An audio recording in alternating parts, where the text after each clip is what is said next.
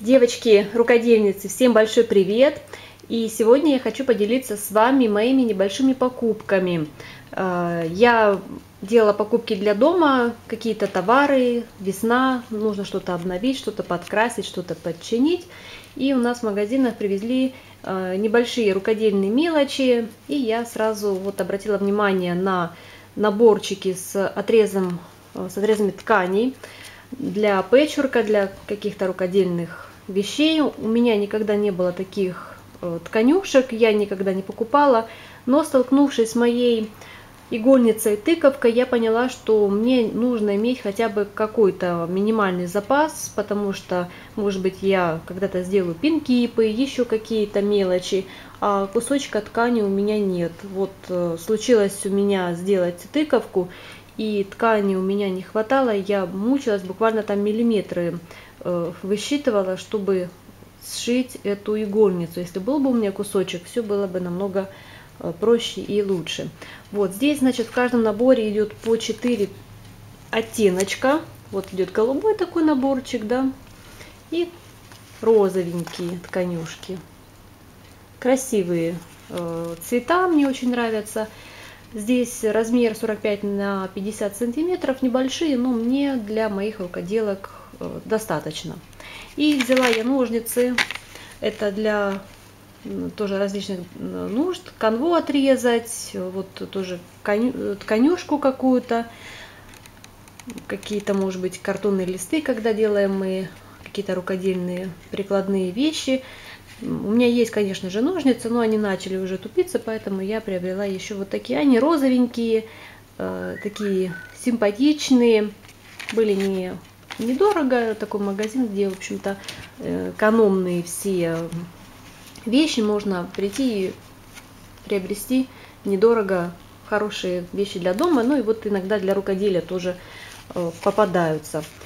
Так, еще я приобрела Видите, у меня это видео о покупках для рукоделия, но э, наборов здесь не будет. Здесь все для организации различных процессов, организации моего рукодельного уголка. Я решила быстренько заснять это видео, потому что все эти материалы сейчас разбредутся по э, моим, моему рукодельному уголку по каким-то необходимым нуждам.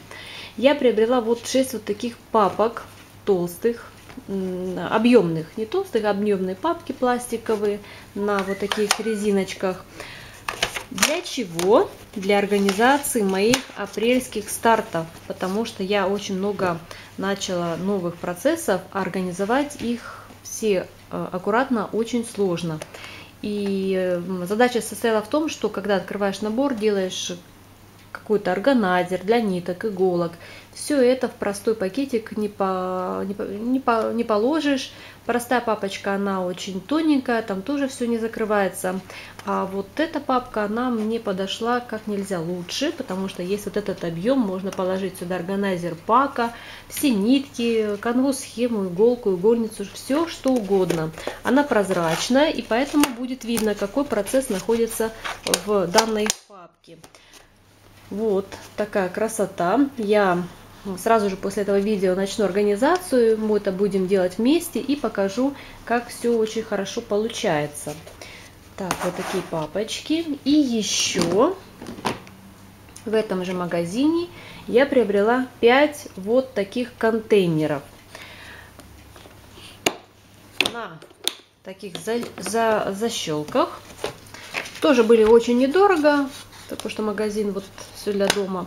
И здесь есть много отделений. Отделения, если необходимо, можно снять, переместить. Но меня устраивают эти отделения. И, как вы понимаете, этот контейнер я приобрела для организации моих ниточек мулине и конкретно а, ниточек ПНК. Потому что они у меня все вот в пакетах лежат. И столкнувшись с тем, что сейчас я подбираю нитки, мне часто нужно вот что-то из этой коллекции найти.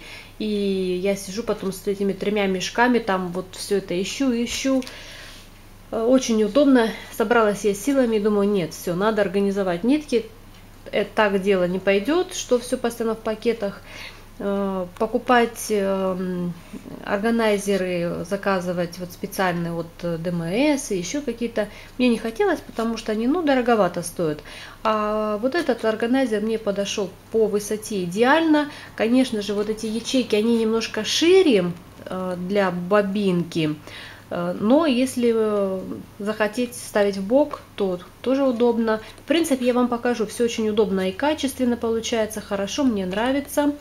Просто вот у меня один остался, который я еще не разложила нитки, эм, чтобы вам показать.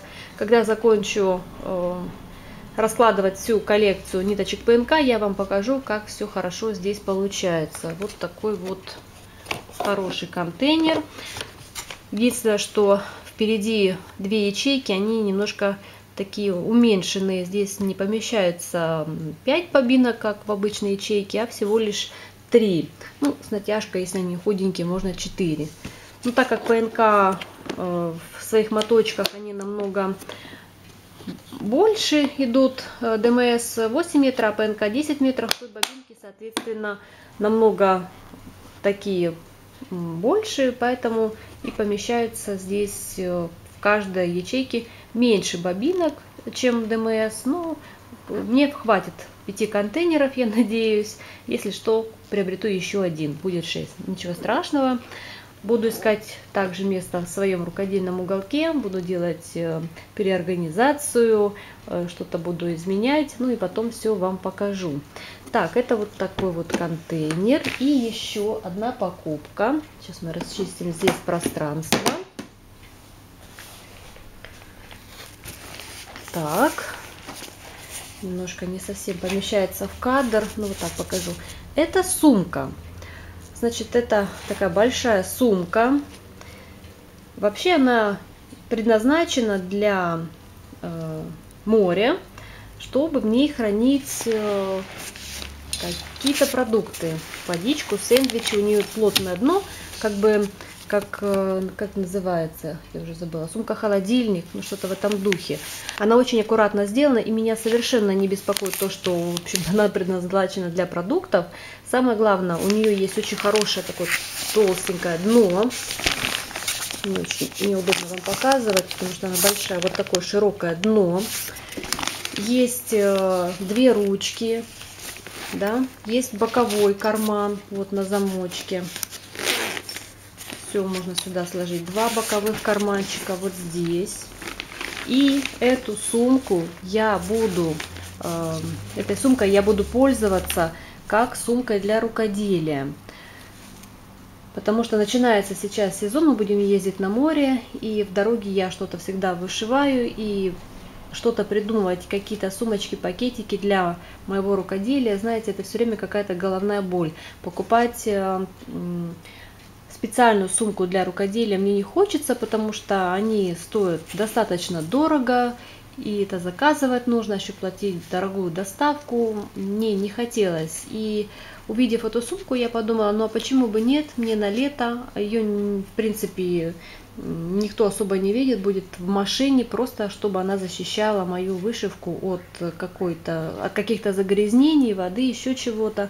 Поэтому я думаю, она мне хорошо послужит.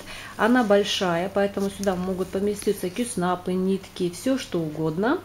И самое главное, недорогая, поэтому меня это абсолютно устраивает. Вот такая супер-супер сумка, замечательная. Все тут очень хорошо, чистенько, аккуратненько будет у меня храниться. Вот такие у меня, девочки, организационные получились покупки для вышивки, да. А, поэтому я сейчас иду все это организовывать и обязательно вам все покажу. Желаю вам хорошего настроения, ну и, конечно же, до новых встреч. Пока!